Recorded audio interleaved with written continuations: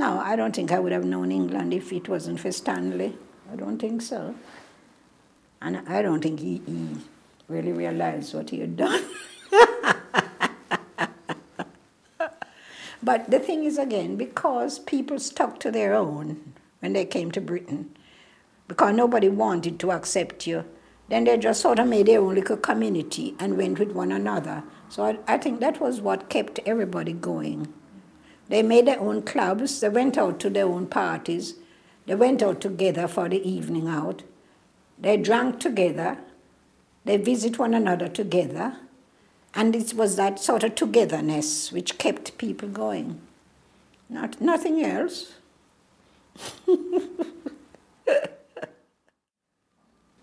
um, fish and chips. You wonder what's fish and chips. You know about fish, but you know didn't know about fish and chips. And you see, there was once out there in the market where um, people coming out with a newspaper and taking out this thing and eating it on the street and the hot steam coming out. And we thought, eating out a newspaper because in our country that would be unheard of. So you tried it yourself and found out that it wasn't too bad after all, but that was a once a year thing for us. We still like to cook our own thing that we knew.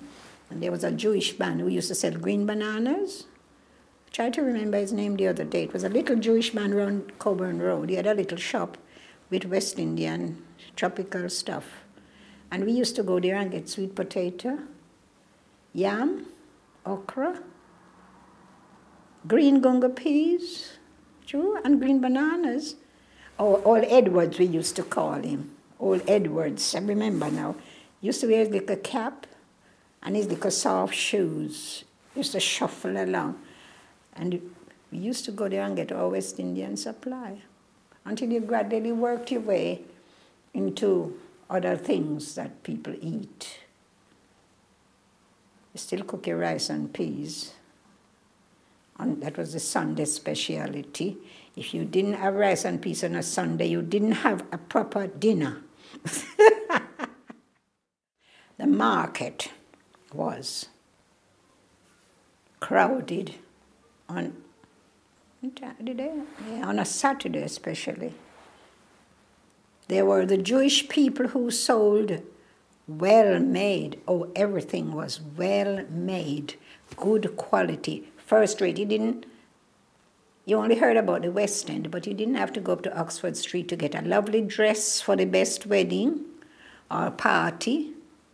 You didn't have to go there to buy a nice, well made pair of shoes or anything or a beautiful skirt. Roman Road was the place. True. Ladies would come down from any part of England. You heard them talking where they came from, just to come to Roman Road to do their purchases. You used to have some very attractive ladies. I don't know if it was the false eyelashes which made them so attractive. Slim, well trimmed, high heel shoes, and the fur coats. Very nice, attractive ladies used to come from far over England to come to Roman Road to do their purchases. You didn't have to go anywhere else to buy anything on a Saturday. And the men would be crying out, Come on, girls, you can't be looking. And that's how they attracted you to come and see what they were selling.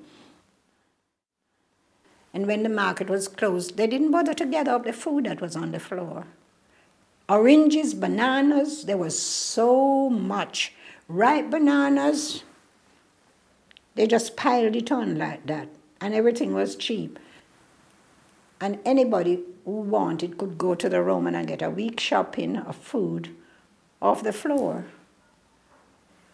You could buy a pound of bacon for a shilling. Everything was so cheap.